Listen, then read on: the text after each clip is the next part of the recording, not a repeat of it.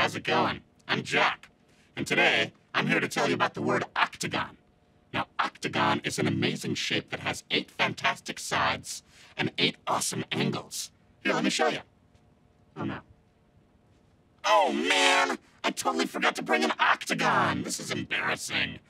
Okay, don't worry. We can go find one. Come on, let's go find an octagon. Stop! Sorry, Elmo, I can't stop at the stop sign right now. I'm busy looking for an octagon. Stop! Okay, Elmo, I see the stop sign, but I have to find an octagon. If I stop, how can I find an octagon? How, Elmo? How? Stop! Wait a minute.